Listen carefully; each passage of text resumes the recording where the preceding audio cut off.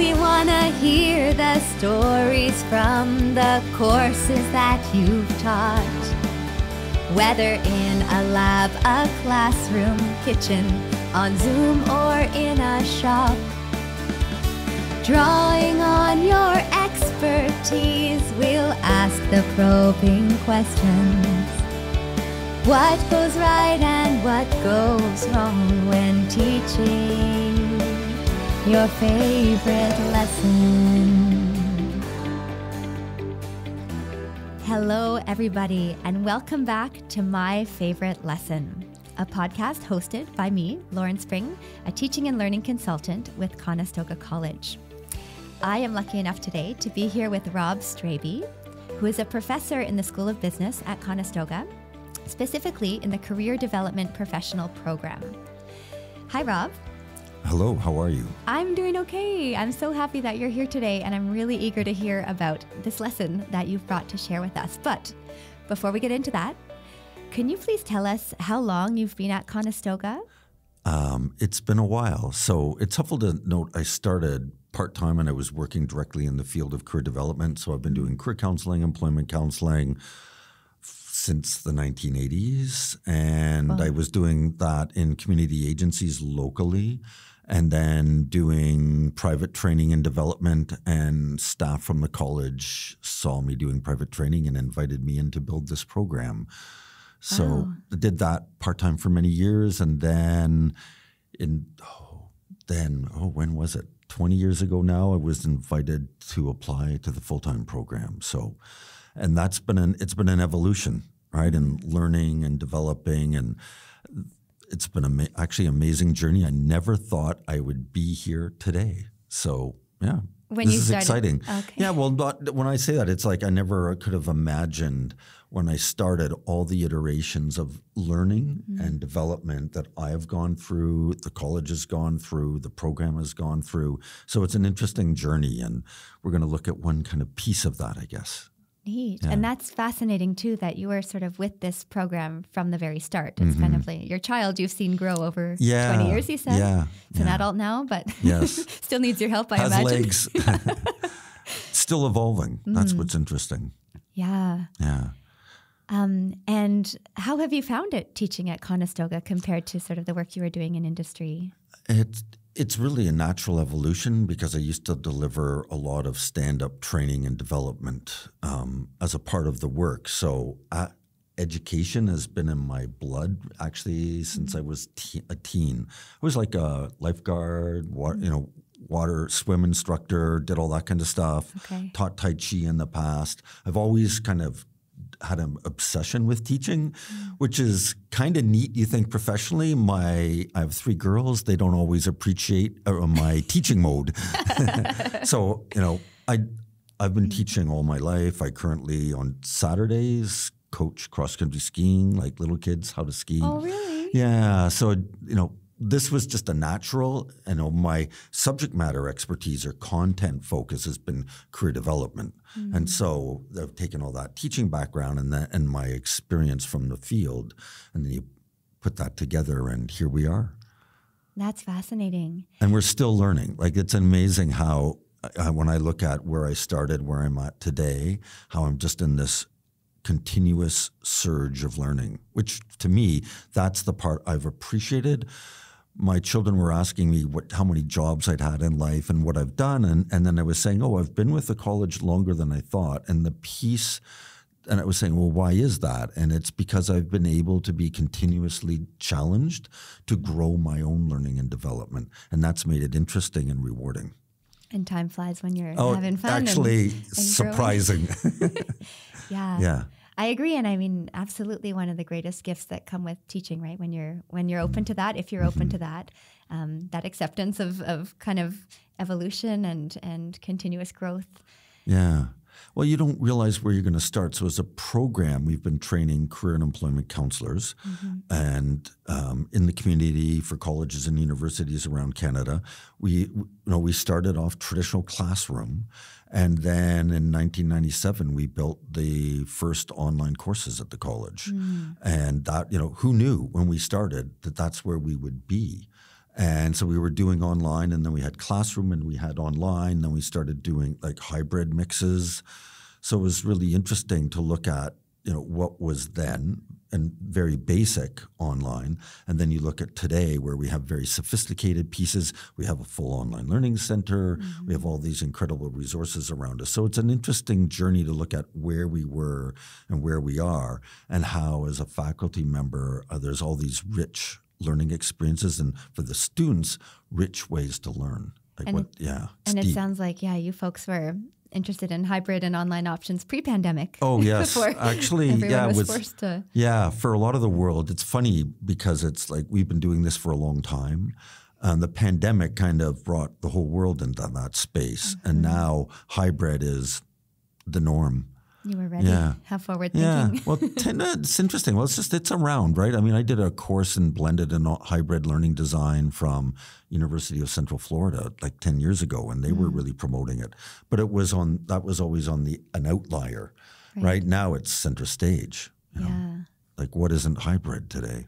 And I would imagine just as the sort of the modalities of learning have shifted over the past couple of decades, the area of focus, sort of this this career development professional I imagine that that's changed quite a bit too. That yes. landscape, what that yeah. means, what what students who you're preparing for the workforce ought to be prepared for. It's an interesting piece. So when we started, technology wasn't a big part of their requirement in their mm-hmm. workplaces. Now it's a it's a significant part of their roles. So one of the things that happen has happened is that not only are we leveraging technology and how we deliver the program, but they're having to learn and develop and leverage technology and how they deliver their work, mm-hmm. which is his historical transformational shift. So it's an interesting piece where we actually have a whole course that's around nothing but leveraging technology wow. for the work, which is primarily an interpersonal domain. Mm. Yeah. Well, and that's the other really interesting component, right? Like your program is within the School of Business, but mm-hmm. you know, I've heard you say the word counseling a mm-hmm. number of times and interpersonal. So it seems like a, a bit of a unique program that folks, you know, outside of Conestoga, outside of other business schools might not think of as uh, being a its own entity within the school. Yeah, it's well, it's helpful if you think about it's the flip side of HR. HR, mm-hmm. if you're working as an HR professional, then your customer is the business right? And then career development, your customer is the individual who is changing careers, seeking careers, mm-hmm. changing jobs, whatever that is. So you're working on that side. So they're flip sides of a similar kind of piece from a labor market standpoint. That makes yeah. a lot of sense. And I mean, I suppose that's the counseling part, right? I mm-hmm. mean, obviously, businesses themselves need some direction and guidance, but there's not that same kind of counseling. Yeah. They're not individuals, right? Whereas, yeah, and so some of it's it's helpful to note that when I use the word counseling, with the skill sets like interviewing, counseling, coaching, facilitation, teaching, training, that skill set, that umbrella of skills, is core to the sector. But what's really interesting is that those are actually core skills that if you want to survive this world, there's two things you need to know. You have to have the digital skills, right? But it's those interpersonal skills. And one of the things that allows our alumni to be very, very successful in their careers, and I've been tracking them um, for like 20 years now, um, and they've moved, a lot of them move from frontline into supervisory management and leadership roles. So you'll see them in leadership roles at colleges and universities in Ontario because that mm-hmm. interpersonal skill set allows them to understand people and systems and develop people and systems. It's interesting. And do you feel that that's something that Conestoga grads from this program, it's a skill they have that might not be one that others from other programs um, possess? It's common. It's actually a common trait in the sector, but there's a the piece here that's interesting is that here you're learning it in the context of of you're getting those interpersonal skills and you're getting technology skills and you're learning to use the interpersonal skills with the technology. Right, okay. That's a unique piece. Right? So it's an interesting one where like right now we're really comfortable sitting in a studio and having a conversation, but then there's this backdrop of technology that's facilitating the recording and dissemination of a conversation right? So it's really interesting, right? And that we in the career development field, we have to be able to do that, right? So folks may come in for a workshop in a traditional training room. They may be doing it on a platform like Zoom, yeah. right? And our graduates have to be able to do any of that. Right. Yeah, whatever it is, where, whatever the needs of their clients and their employers, they have to be able to deliver. And yeah, that the interpersonal skills are just as strong no matter what. Yes. How the meeting's taking yes. place or yeah. Yes, that you can transfer that from from from face to face, one on one to group to a technologically mediated piece is amazing. Yeah. Yeah. And I can see I mean I can see that being a huge advantage moving forward and mm-hmm. that interplay between the 2 mm-hmm. So Rob, what is the lesson? I know you before kind of homing in on the lesson, you wanted to talk a little bit about the overall program okay. and, and, the course. Yeah, just a little bit about, like, I guess, because I'm always looking at what do I want folks to be able to do mm-hmm. when they graduate. And then it's like, well, what do I want them to be able to do at the end of this course? Then it's like my lesson plan is situated within that. Mm-hmm. And so it's helpful to think that about if you imagine our grads would be working one on one or with small groups guiding them through career decision making, career exploration, employment seeking, work seeking, resumes, interview preparation, creating LinkedIn profiles, um, reaching out to industry insiders to get um, in the moment information around what's going on in a particular pref- profession. So they have to have mastery of that and be able to take that and coach, teach, counsel, train a person mm. or persons through that process. Yeah. So it's it's an interesting one because it's the only program actually that everything you study is also implicitly connected to how you manage your career. Right. Yeah. Right? There is this kind of meta. Yeah. Yeah. yeah you got it. It's the the meta narrative on the narrative of what you do as a part of your work. Yeah. So that's a, as an outcome, our grads need to be able to go and do that. Right. Right. So, and they need to be able to work with folks from wherever they are and you know, wherever they've come in the world, mm-hmm. they need to be able to work with them. Whoever they are, whatever their background, their gender, their sexual expression, you know, no matter their language of origin, their place of origin, they're here. You need to be able to have that capability of being able to work really effectively and help them change their life mm. in the way that they are seeking. So it's a really neat thing. So that's an outcome I'm looking at, right? I want a pers- or, or grads to be able to do that. Yeah. And so th- the two-term program post grad. So a, a course I'm looking at this one is career counseling techniques. It's level two or second term. I'm teaching it right now. So I have students who started in the fall and they're now, you know, in, in their second term. Um, they have foundation courses. So I use the term scaffolding, and mm-hmm. some faculty like that word. So you think about what's the foundation they got in level one. So foundation, like um, would be things like they got all the career theory, right? So they have a really solid knowledge of career theory. One key element is that they've learned about career as narrative or mm-hmm. career stories, so storytelling and its role. So they learn about that in the fall in the theory work, and that's really important as a foundation coming into the, the course in the winter level two and where this lesson will be. The other piece they've had is they've had a course on professional ethics interviewing and counseling.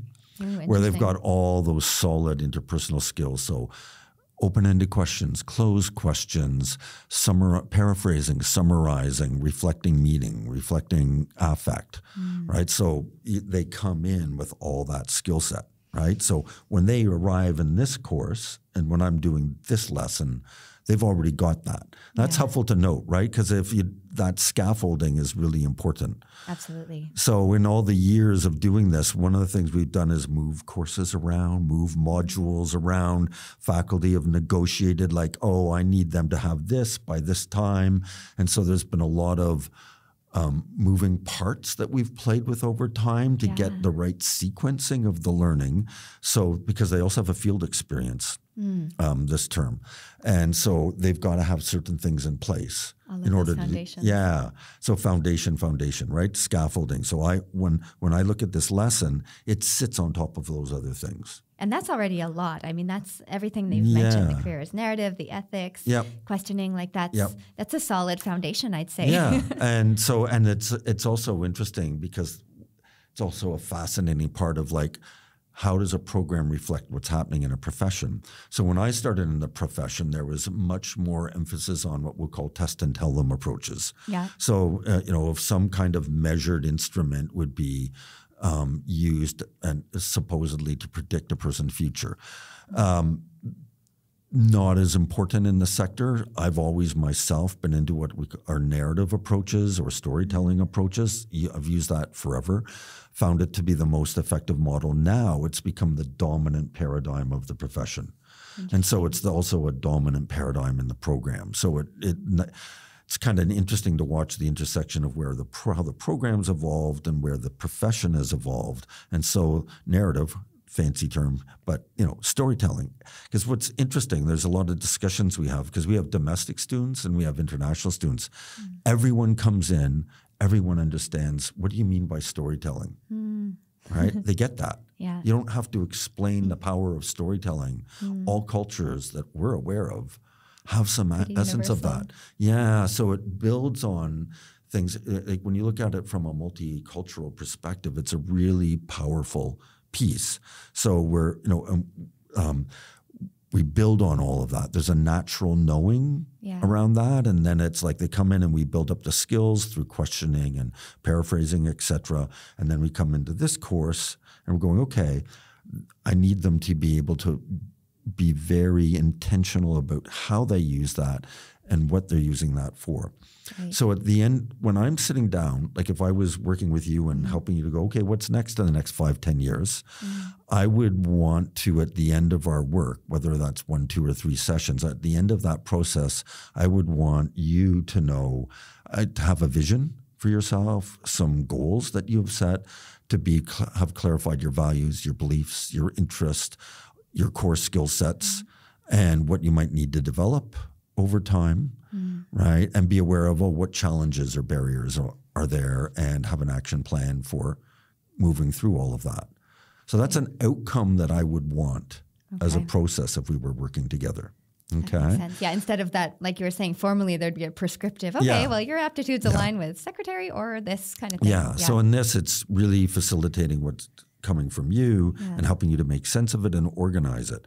So then, if that's what I want my student, like what I'm want would want to do in our work together, Yeah. I also want my students to be able to do that. I then need to be able to take apart all those components and teach them independently. So the, f mm. what I'm doing at this point in the the area is teaching a, how do you elicit a vision.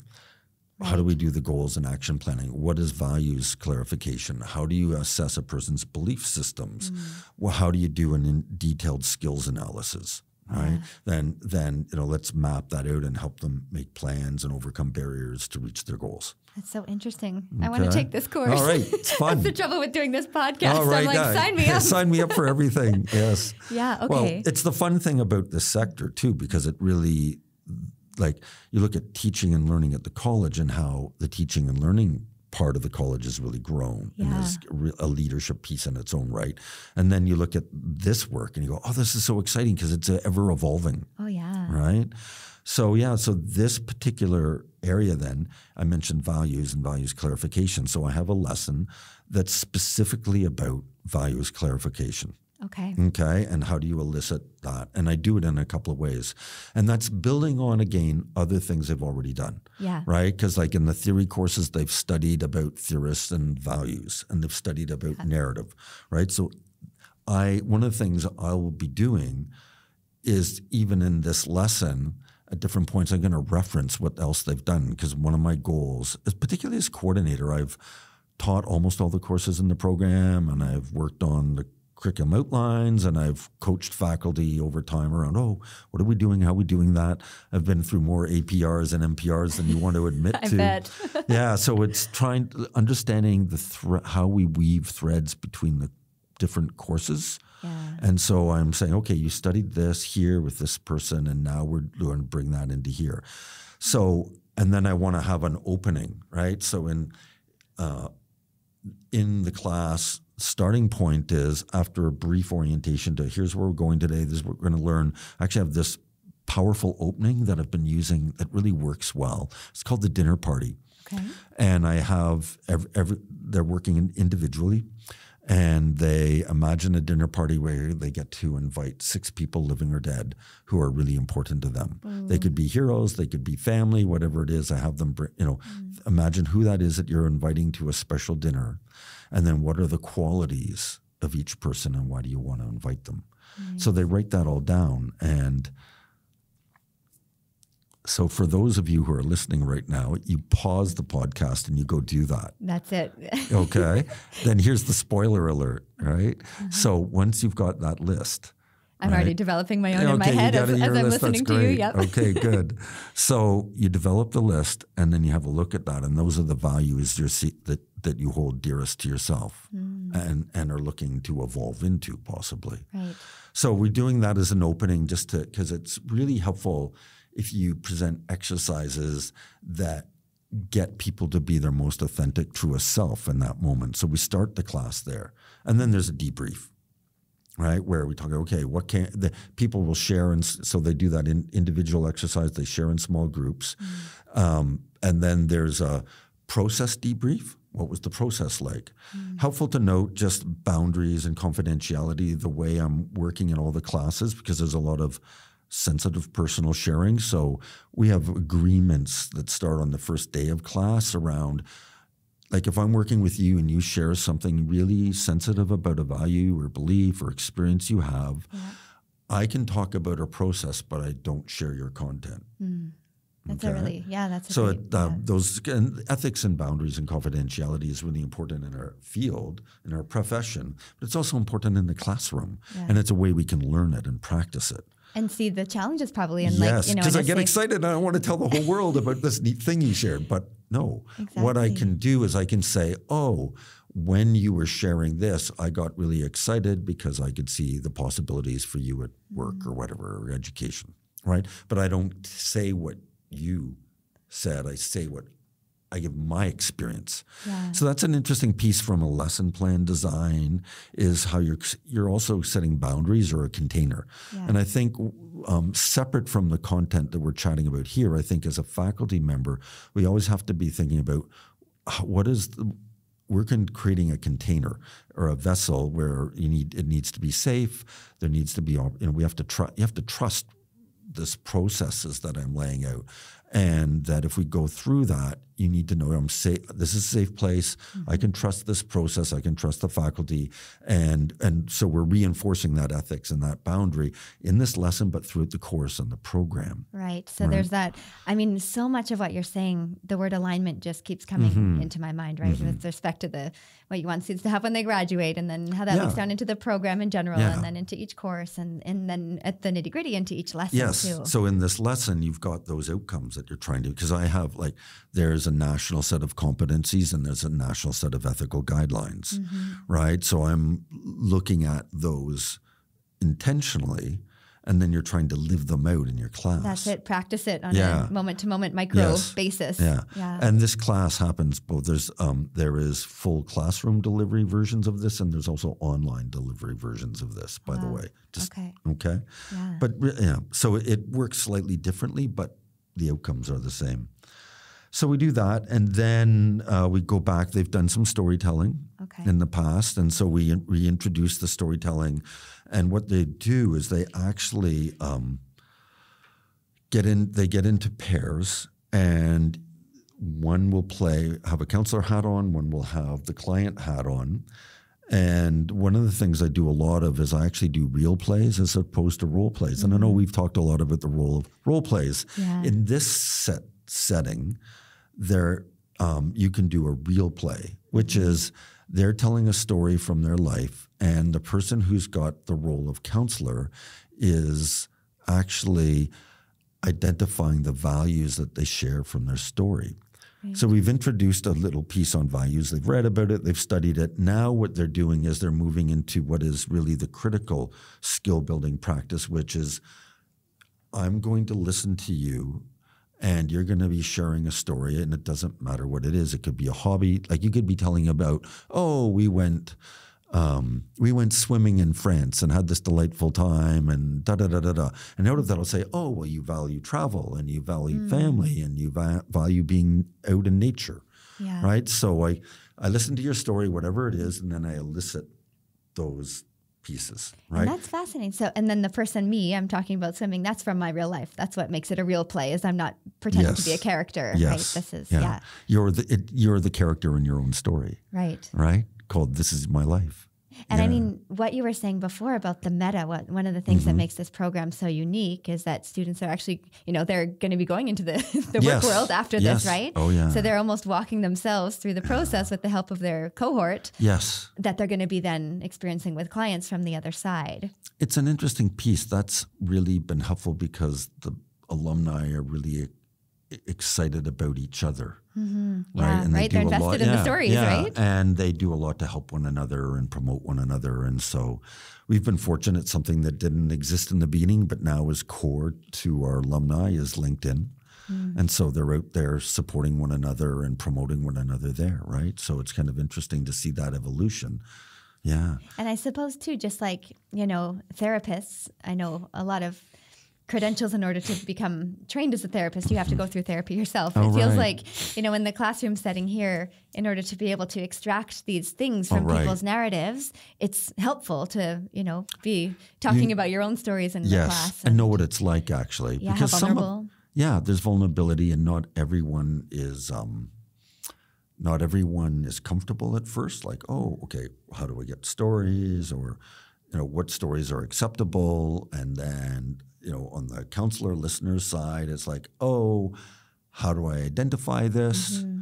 Right. So, and, and although we've done a lot of things to build them up, one of the things that in, that's interesting is that um, I'm always learning, well, what could we do differently to enhance the outcomes for our students? Right. And I'm right in the middle of this right now. Mm. So, um, just you know, so you go, okay, it sounds like, oh, it sounds like you have this good thing. And it's like, this curriculum works pretty well but it, there's things that can be done to pull it together. So one of the things is that I'm pulling readings from different places, mm. and it's proving to be it's not a unified whole. So I'm writing um, an open text with an open educational resource.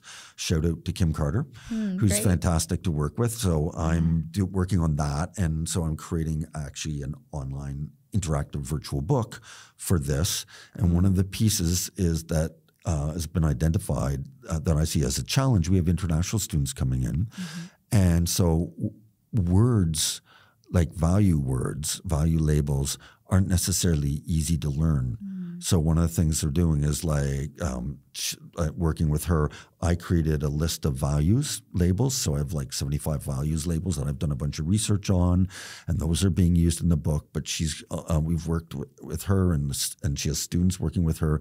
We have now H5P activities where they're teaching the meanings of the words and the pronunciation of the words. Interesting. And so what we're looking, you know, i have got the story piece. So I'm telling you, I have this lesson right now, but I'm also looking ahead as I teach the lesson and going, what do I need to do differently? And so I'm also looking at how do I enhance the lesson plan future based. So next year, the students will go through and there'll be another iteration of this lesson plan. Fascinating. And I suppose, too, you know, looking more internationally in scope, mm-hmm. it must be interesting to see okay, which sort of values are might we consider universal versus which ones are are coming in as our as we have a more global student body? Are there other values that are coming into play with future you know clients of these student graduates etc that's an interesting piece. There's actually been global work done on values. So there's a fairly broad set of values that are known. The cultural differences come on which values do different cultures place more emphasis on. Mm. And then so you'll see certain values coming up. So when you know when we talk about say family as a value, yeah. and so in your mind now you think about family and what that means, mm-hmm. and I could interview someone else and they say I value family, but if we tease that out, that might actually look quite different. Yeah. Right? How I define it. Yeah. how exactly. you define yeah. it. Where's the boundaries of family for you? How many people were in that picture versus Mm-hmm. how many people are in it for a student from a different culture? Yeah. Right. And so it's there's that, and then how important is that in terms of let's say your own career decision making? For sure. Right? Like, do I consult with who? Which family members do I consult with to make a career decision? Yeah. versus well, how someone else sees it. And that, by the way, there's lots of discussion and debrief in this lesson. So that's a part of it. Super. Right. So we get into that. Okay, what does this mean? What does it mean for you? How is it different for others? Hmm. Right. And so it, because the piece that's important that the students need to learn is no value is right or wrong in itself Yeah. right? And so they're, they're they're only right in so much as they're authentic to a particular individual, right? So they part of the interesting thing is that you can't let the values you hold to be true be judging how you hear the values of someone else. Right. And you learn in turn how do you respect and appreciate and support and celebrate someone else's value system. That's so rich. Yeah. yeah. And then, and yeah. not easy to do, by the way. That's a whole mm-hmm. journey in its own right, but that's a part of this, right? Yeah. So this lesson that, you know, the storytelling process um, and the debriefing that comes from that, right? Because it's iterations. Like typically I'll have them do a group of three and you have a person tell a story, a person counsel a person around the story and an observer Okay. and then they rotate through the class around that. So there's and every time that we we've done the triads, done one loop, then it's a debrief. And what you get then is by the end of all that, a really rich dialogue has come forth. And I have things I want to make sure I address. Like, oh, there's these things that I need to make sure. Like, I want, I want these to get. I have a list in my head, Okay. or on paper sometimes, but it's always in my head. Um, things I want to get addressed, like understanding and respecting differences in values, right? Usually that will come up in the discussion. So what I have in my head is like, oh, when the discussion comes up, if particular things get said, I'm going to amplify what that student teaching said. moment. Yes, yeah. it is. And Yeah. so, because it's more powerful, right? If the students are sharing it through the debrief Mm-hmm. and then I amplify that and and we go around the group with that, then if I'm just giving it like a lecture thing, that's that- Summarizing at the Yeah, end of your key points. yeah, Yeah. yeah. So it's that's the piece where you're really working. My work in the class is really then again, I'm listening for where are those moments or those pieces or those elements, and I'm drawing that out, and then I'm reinforcing the key things I need them to learn in this mm. class and for the course. And then I'll tie that back to, like, then out of that, I usually a couple of notes are made because you want to tie the lessons together. Yeah. So like next time I get together and we're setting goals, right? Let um, you know because you've got those the goals, values, beliefs, interests, skills, all those different things. So I want to go back and say, okay, remember how we were talking about values here? Now we're talking about goals. This could be a couple of weeks out. I'll go back and I'm I want to tie this together, right? See, these values are influencing these goals, and you also, when you have your goal discussion, need to make sure that they're in alignment with the individual's values that were expressed previously. Right. So you've got the, what I'm trying to amplify and and in the lesson, plus how I'm trying to link the, the lessons together, so they're not just these standalone items, and neither are the courses. Yeah. And I would imagine that students feel that. Do you do you get the sense Yeah, that they yeah. uh, Yeah, it's different for there's it's different. I'm always trying to figure out who's getting it Hmm. and how are they getting it and who's not getting it and what do I need to do differently to enhance that. Yeah. And I would say a lot of my journey in teaching and learning has been um, all about that. Because then, like, it's really changed in the beginning. It was really me at the front of a class and I have 30 students, and, and it um, used to be a classroom, three hours, no tech, like Hmm. Yeah, no yeah. tech, right? Like, there was that time. I might even write on a flip chart, right? Yeah. And then now it's like, you know, I could be doing the same thing, mediating it through Zoom yeah. right? And then they're accessing, you know, Econestoga and all these other resources, and you know, and it's, it's really interesting. So, uh, and then I'm always looking at, okay, these folks are getting it, these people aren't, and I'm knowing that through all the reflection pieces that are done. So, you like I talked about the debrief in the class, Yeah. but they're writing, they write what I call action learning logs. Okay. Action learning logs are essentially a structured reflection, Okay, so they, there's five points in the course where they write an action reflection on an experience they have as a, uh, um, in the course, mm-hmm. and that's typically with another student. The okay. first one is is their own self reflection, but after that, it's always with another student. So they're doing so. Like I'll um, I'll introduce a piece, you know, like we'll do, and then we'll go through these values pieces. But after that, they write a reflection post, and that's goes out into the discussion forum. Okay, mm-hmm. so it's written, everyone sees it, I see it. Next class, we debrief that. So I've got the debrief in the class, then I've got the debrief post class. Yeah. So I always open up the f- following course with the or class with the debrief of what they did online. Mm. So if it's in a traditional classroom delivery, they're working together, then they post that, then we get back together in the classroom. If it's in um, an online environment, it's a similar process, but it's but it's but we're it's spread out a little bit more through the technology. So it's interesting how there's the outcomes, but I use different, slightly different processes to get there. Well, and also, I mean, from an accessible learning standpoint, too, that's really nice, right? Because I oh, think oh, yeah. there's probably a need in the moment to debrief some of it, but then other reflection happens as students walk away and digest the experience a little bit. And so yeah. to have those multiple forums of reflection, yeah. I think would make a lot of sense. They get a lot of it. It's fun. And, and then they get even more engaged in the content. Yeah. Yeah. Um, and you had mentioned, yeah, that you're involved in this OER yeah. textbook as well. Did you want to say anything more about that? It's probably the most interesting part of my work right now because mm-hmm. it's where I'm taking everything and trying to pull it all together and organize it. Um, I'm also appreciating all the infrastructural supports that are now available. Like what's available for me to do this now wasn't available 10 years ago. Right. right. And so it's really profound. And I'm very thankful. I Actually, I have a lot of gratitude for, like, oh, I've got these supports to do this. It's a lot of work, though. Whew.